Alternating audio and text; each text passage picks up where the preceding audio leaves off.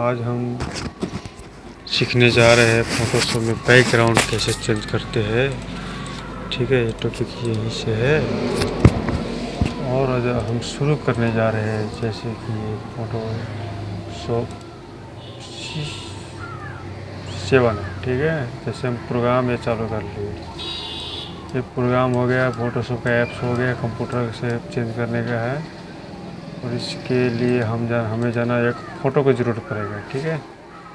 तो एक फ़ोटो हमने सेव करके पहले से ऑलरेडी रखा हुआ है, वहाँ से आप, जहाँ भी आप चाहे तो वहाँ रख के आप अपना एडिटिंग कर सकते हैं। जैसे कि हमने, देखिए, किसी एक फोल्डर में रखा हुआ है। जैसे कि देखिए, बहुत सारे दूसरे आदमी के फ़ोटो सब है तो किस फोल्डर में रखे थे ढूंढना तो पड़ेगा। चलो ठीक है, मैं दूसरे फ़ाइल में जाकर देखता हूँ, ठीक है? जैसे कि मान लीजिए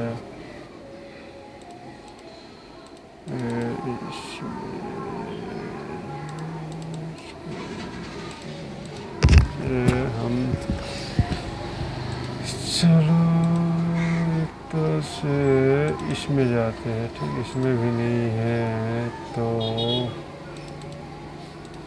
जैसे कि फोल्डर में, चलो ठीक है फोल्डर में हमारा एक फ़ोटो है, जैसे कि मैं ये फ़ोटो फ़िलहाल निकाल ली। ये फ़ोटो है जैसे कि इसको, इसमें लाने के लिए जैसे कि फोल्डर का नाम चेक कर लीजिए फोल्डर का न्यू फोल्डर थ्री है, ठीक है? नहीं तो ऐसे भी पकड़ के आप खींच के ला सकते हैं। जैसे इसको पकड़िए माइस माउस के लेफ़्ट बटन क्लिक करिए, ऐसे आ गया, ठीक है? जैसे इसको हम फुल स्क्रीन करेंगे। जैसे कि अब कंट्रोल प्लस करके हम इसको जूम कर लेंगे। इसको देखिए, जैसे कि ये टूल हो गया कटिंग टूल इस टूल को लेके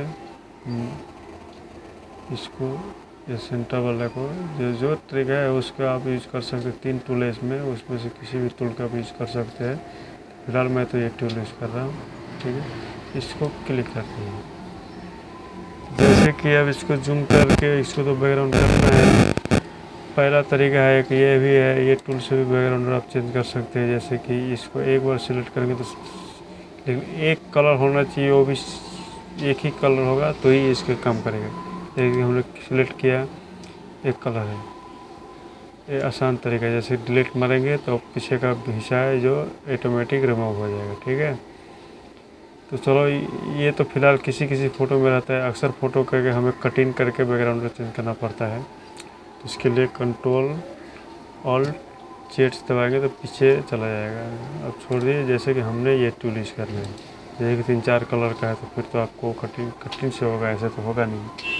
तो कंट्रोल प्लस करके जैसे कि स्पेस के बटन दबा के ऊपर कीजिए फ़ोटो को। फिर कटिंग में जाइए, जैसे कि ये टूल हो गया। इसको दबाने से जैसे कि अब यहाँ से सिलेक्ट कीजिए। जैसे कि हमें तो पूरा फ़ोटो चाहिए तो पूरा भी कर सकते हैं। जैसे कि यहाँ से शुरू कीजिए, यहाँ से लेके यहाँ से। जैसे कि जो शरीर का जो बाहर का हिस्सा है, उसको हम उससे अंदर ही में खास करके हम डिलीट कंट्रोल वो करेंगे, ठीक है? तो प्लस कीजिए, जैसे कि जितना प्लस करेंगे उतना काटने में आपको अच्छा रहेगा। ठीक है? ऐसे आते जाइए, ऐसे आते जाइए। जैसे कटिंग कर लिए, जैसे कि ऐसे धीरे जितना अच्छा से कटिंग करेंगे उतना देखने में अच्छा लगेगा। जैसे कि आप जानते ही जैसे ऐसे करके जितना फिनिशिंग आप कर सकें, ठीक है? जैसे कि ये आ गया। ऐसे करिए। ये हो गया, जैसे कि हेयर कटिंग में तो हेयर ज़्यादा हमें मिला के कटिंग करना है तो जैसे ऐसे कटिंग करते जाइए, कटिंग करते जाइए करते जाइए, कटिंग करते जाइए, कटिंग करते जाइए। ठीक है? दोस्तों, लेकिन वीडियो पसंद है तो लाइक और सब्सक्राइब करना ना भूलें। हमारा नया चैनल है। जैसे आप लोग आगे बढ़ाएँगे, जैसे हम टेक्निकल वीडियो रखते रहेंगे। अच्छा अच्छा आप लोग के लिए। ठीक है।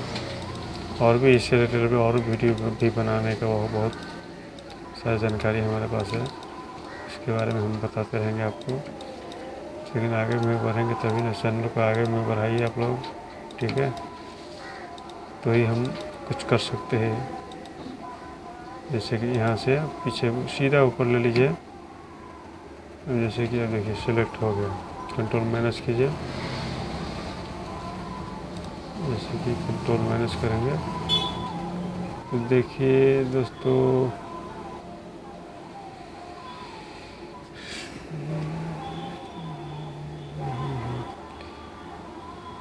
यहाँ से भी अब जैसे कि ये सिलेक्ट हो गया।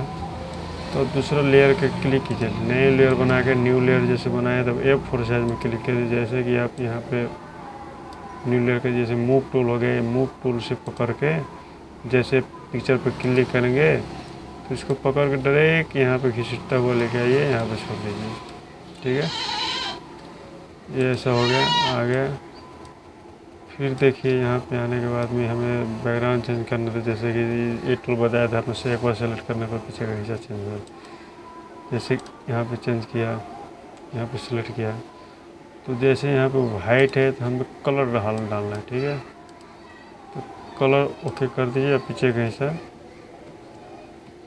जैसे कि दोस्तों हमने पीछे का हिस्सा का सिलेक्ट अभी नहीं किया है, इसलिए अभी नहीं आ रहा है। जैसे मूव टूल पे जाके इस पर क्लिक बैकग्राउंड पे कीजिए ओके फिर जाके जैसे कि सॉरी इसको सिलेक्ट करेंगे। तो अब देखिए कलर चेंज हो गया, ठीक है? तो इस तरह से हमारा था। आज का टॉपिक और कलर चेंज करने के लिए जैसे कि फ़ोटो का भी, जैसे कि इस तरह से रखिए, चाहे अब इसको पासपोर्ट साइज़ की कोई फ़ोटो बना सकते हैं। ठीक है, जैसे कि हमें पासपोर्ट साइज़ की फ़ोटो जिसका क्रॉप करना है, जैसे कि इस पर सेलेक्ट कर दीजिए तो कलर चेंज हो गया। अब जैसे कि ये टूल हो गया कटिंग आपको पिछले वीडियो में बताया भी था। यहाँ से सेलेक्ट कीजिए और यहाँ पे सेंटर पॉइंट लगे डबल क्लिक मार दीजिए, जैसे सेलेक्ट हो गया, पीछे का हिस्सा कलर हो गया जैसे दूसरा का भी कलर करना चाहे, जैसे हमें रेड करना है तो रेड भी आप कर सकते हैं। इस पर रेड भी रेड हो गया। जैसे कि ये कलर चाहे तो ये कलर भी आप कर सकते हैं। ठीक है? और हो गया। ये आज तो हमारा टॉपिक आज का था। देखिए, अगर अच्छा लगा तो वीडियो को सब्सक्राइब चैनल को कीजिए। बढ़ेंगे ओके। बाय